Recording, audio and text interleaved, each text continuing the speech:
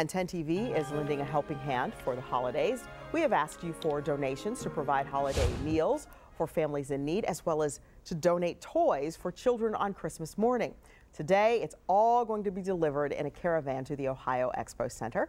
10 TV's Jeff Hogan is live at Walmart in Hilliard, where the trucks are getting ready to go. Hi, Jeff. Well, how you doing, Tracy? This will be the payoff for what everybody around Central Ohio has done to give, not just the money, but some of the toys as well. Behind me, I've got a uh, personal protector here to take me down to the Ohio Expo Center. This is a full Christmas caravan here like you've never seen before. Take a look at it from up in Chopper 10 high above. We're out here at the Walmart in Hilliard and we're taking a look at a helping hand for the holiday caravan that's getting set to roll right off here with the help of Central Ohio Police Departments that you can see here, Walmart, of course, Channel 10, the dispatch. We've got WCOL involved. And of course, we also have the Salvation Army here. Uh, and I can talk to Major Frank Kirk right now about the initiative and when it started three years ago, right? This is the right. third time around. But how has this grown to become what it is today? You know, it started three years ago and it was a great program, but it's just increased every year.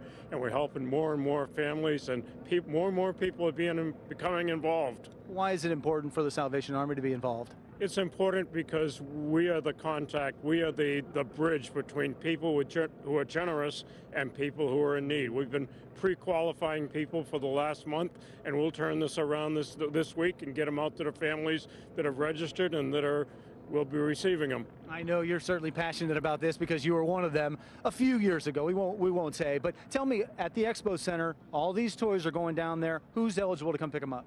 Uh, those families that are registered that have an appointment, uh, we've set them up and they already know when they're coming and they'll come and they'll get the gift. And you know, the beauty about the gift is 100%, 100% of that goes to the children. That is beautiful. That'll be a great thing on Christmas Day when they open them up. Tracy, I'll send it back to you, but you're going to come back here in just a few minutes because we're rolling these out of here with the final few presents going on these trucks. And we won't miss it. Thanks, Jeff. Well, we've been telling you, but 10 TV is lending a helping hand for the holidays, and today, yes. truckloads of toys will soon be on their way to the Ohio Expo Center. Very exciting. That's where they're going to be unloaded and organized to give out to the families who need them. Let's check in now with Jeff Hogan, who's live at Walmart in Hilliard. Jeff?